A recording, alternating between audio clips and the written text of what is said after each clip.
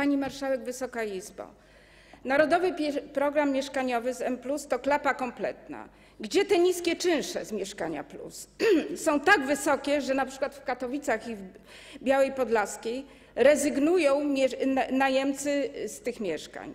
Gdzie są te domy drewniane obiecywane? Sukces TBS-u poprzednich rządów zawłaszczacie, zmieniając tylko nazwę na SIM. Teraz, po sześciu latach nieudanych prób, proponujecie i zwrot o 180 stopni, proponujecie mieszkania, domy, budowę domów 70 metrów kwadratowych jako okręg flagowy Polskiego Ładu. Szkoda, że to taki bubel plus. Założenie tego projektu, którymi, którymi się tak chwalicie, od dawna, szanowni państwo, obowiązują. 20 lutego 2015 roku rząd PO-PSL wprowadził możliwość budowy domów jednorodzinnych bez pozwolenia na budowę. Artykuł 29 Prawa budowlanego, proszę przeczytać. Drugie, chwalicie się wprowadzeniem określenia decyzji o warunkach zabudowy.